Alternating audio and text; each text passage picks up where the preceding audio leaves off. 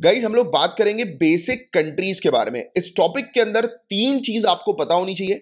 पहला क्वेश्चन कि basic countries का जो ग्रुप है, उसमें कौन सी कौन सी कंट्रीज़ शामिल है? दूसरा क्वेश्चन ये बेसिक कंट्री का जो ग्रुप तैयार किया गया है, इस ग्रुप का मेन पर्पस क्या है? और तीसरा क्वेश्चन आपसे पूछा जा सकता है कि कॉफिनगन क्लाइमेट समिट जो है, वो किससे एसोसिएटेड या फिर कॉफिनगन समिट किससे एसोसिएटेड है? तो ये तीन चीज़ें हैं जिसकी आपको जानकारी होनी चाहिए। तो इन्हीं तीनों चीज़ों के बारे में बात करते हैं। तो सबसे पहले तो एक फैक्ट आप जानो तो 28 नवंबर 2009 को इस दिन चार कंट्रीज़ आकर मिली। ये चार कंट्रीज़ कौन सी कौन सी है? Brazil, South Africa, India and China. ये आकर मिली और इन्होंने एग्रीमेंट साइन किया और ये बेसिक ग्रुप तैयार हुआ। राइट? तो ये चीज़ आप थोड़ा सा ध्यान में रखिएगा कि ये चार कंट्री कौन सी कौन सी है? इनके नाम और 2009 में ग्रुप तैयार हुआ।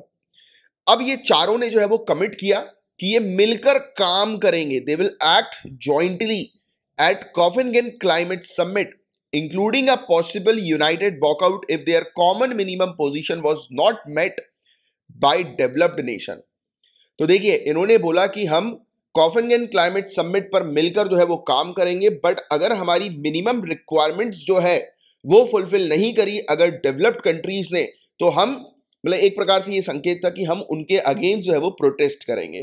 तो ये चीज़ जो है वो यहाँ पर बताई गई। एंड इसके अलावा ये जो उभरता हुआ जियो पॉलिटिकल अलायंस जो चार कंट्रीज़ का हमें देखने को मिला था, इसका नेतृत्व किया था चाइना ने। फिर बाद में जाकर जब फाइनल कॉफिनगन अकॉर्ड जब हुआ, तब उस समय यूनाइटेड स्टेट्स के साथ ये हम लोग को देखने को मिला। राइट कि ये एग्रीमेंट जो है या फिर ये अलायंस जो है वो कंप्लीट हुआ। एंड इसके अलावा ये ग्रुप की अगर बात करेगा तो ये ग्रुप का मेन टारगेट क्या है? तो इसको आपको थोड़ा सा ध्यान में रखना है। इस ग्रुप का टारगेट ये है कि ये जो एमिशन कार्बन डाइऑक्साइड का एमिशन बोल लो आप या पल्यूटेंट्स का जो एमिशन बोल लो आप तो ये चाहते हैं कि आप एमिशन को रिड्यूस करने के लिए एक लिमिट जो है वो डिफाइन करें राइट और क्लाइमेट एड मनी की डेवलपिंग कंट्रीज़ को डेवलप्ड कंट्रीज़ जो है वो अमाउंट यानी कि पैसा जो है वो दें। फाइनेंस करें फंडिंग जो है वो करें। तो ये दो चीज़ मेनली इनकी हमें देखने को मिलती है। अब देखिए कॉफिनगन समिट किससे एसोसिएटेड है? ये क्वेश्चन आएगा। तो क्लाइमेट चेंज के इंपैक्ट को रिड्यूस करने से एसोसिएटेड कॉफिनगन समिट है।